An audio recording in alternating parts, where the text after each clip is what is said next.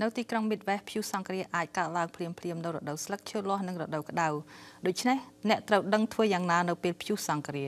ព្យុះសង្គ្រាគឺជាខ្យល់ព្យុះដែលមានកម្លាំងខ្លាំងហើយមានគ្រោះថ្នាក់ជាទីបំផុតដែលមានខ្យល់បក់បោកដើមឈើបំផ្លាញផ្ទះសម្បែងនិងអាចសម្លាប់មនុស្សបាន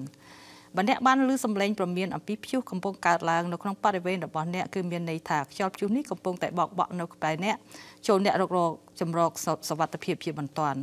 នៅតាមទីក្រុងចំនួនធំធំមានសារ៉ែនសម្លេងខ្លាំងខ្លាំងសម្រាប់ប្រមានពលរដ្ឋអំពីព្យុះរត់ចូលទៅក្នុងបន្ទប់ក្រោមដីបើអ្នកមិនមានបន្ទប់ក្រោមដីទេចូលរត់ទៅក្នុងបន្ទប់ដែលមិនមានបង្អួចត្រូវអង្គុយក្រោមតុទូដែលមាំដូចជាតុបាយតុសរសេរ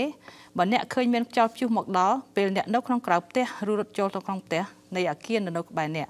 ចូលក្រាបនៅក្រឡុកហើយការពារក្បាលនិងករបស់អ្នកដោយដៃទាំងពីរសម្រាប់ព័ត៌មានបន្ថែមសូមទស្សនា website ecoministota.org.